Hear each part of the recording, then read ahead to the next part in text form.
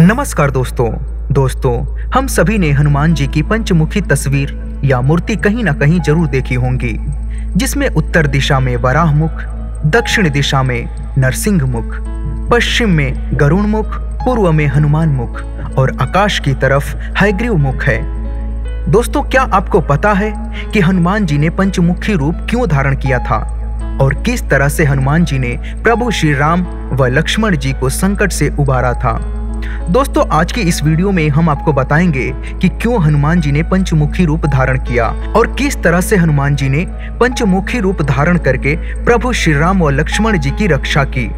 यह जानने के लिए हमारे साथ अंत तक बने रहिए।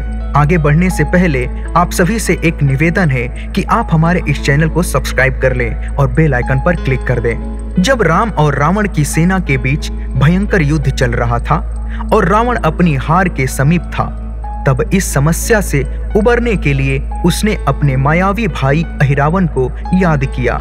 अहिरावन माँ भवानी का परम भक्त होने के साथ साथ तंत्र मंत्र का बड़ा ज्ञाता था। उसने अपने माया के दम पर रात्रि के समय भगवान राम की सारी सेना को बेहोश कर दिया तथा राम एवं लक्ष्मण का अपहरण करके उन्हें पता लोक ले गया। कुछ घंटे बाद जब माया का प्रभाव कम हुआ, तब विभीषण ने यह पहचान लिया कि यह कार्य अहिरावन का है और वह श्री राम और लक्ष्मण को अपने साथ पता लोक ले गया है और फिर उन्होंने हनुमान जी को श्री राम और लक्ष्मण की सहायता करने के लिए पताल लोक जाने को कहा। इसके बाद हनुमान जी श्री राम और लक्ष्मण की तलाश में पताल लोक पहुँच गए। पताल लोक के द्वार पर उन्हें उनका पुत्र मकरध्वज मिला। और युद्ध में उसे हराने के बाद वह अहिरावन के पास पहुँचे। अहिरावन को वरदान मिला हुआ था कि उसके द्वारा जलाए पाँच दीप को जो एक बार में बुझा देगा, वही उसका वध कर पाएगा। इसी का फ़ायदा उठाते हुए अहिरावन ने पाँचों दियों को पाँच अलग अलग दिशा में जला दिया था। इस परिस्थिति को देख हनुमान जी ने पंचमुखी रूप धारण किया, जिसमें उत्तर दिशा में वराहमुख दक्षिण दिशा में नरसिंह मुख पश्चिम में गरुण मुख पूर्व में हनुमान मुख और ऊपर की तरफ़ हैग्री मुख था। और इसके बाद हनुमान जी ने एक ही साथ अहिरावन के पाँचों दिए बुझा दिए, जिससे अहिरावन की मायावी शक्तियाँ समाप्त हो गई। और फिर हनुमान जी ने अहिरावन का वध कर लिया। श्री राम और लक्ष्मण जी को सही सलामत पताल लोक से वापस लेकर आ गए। उस दिन से ही हनुमान जी के पंचमुख की पूजा की जाने लगी।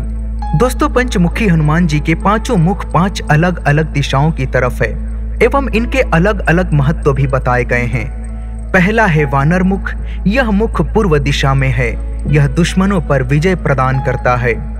दूसरा है गरुण मुख, यह मुख पश्चिम दिशा में है, यह जीवन की रुकावटों और परेशानियों का नाश करता है।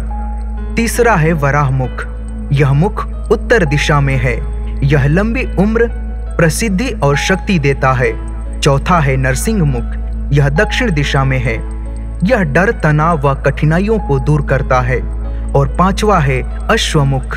यह मुख आकाश की दिशा में है। यह समस्त मनोकामनाओं की पूर्ति करता है।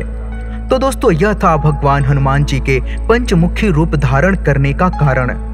जो भी मनुष्य हनुमान जी की पंचमुखी रूप की पूजा करता है, वह मनुष्य सदा धन वैभव, बल, खुशियों से परिपूर्ण होता है। तो दोस्तों, यह थी हमारी आज की वीडियो। हम आशा करते हैं कि आपको यह वीडियो पसंद आई होगी। अगर आपको यह वीडियो अच्छी लगी तो इस वीडियो को लाइक करें और हमारे चैनल को सब्सक्राइब करें। धन्यवाद। जय श्री राम।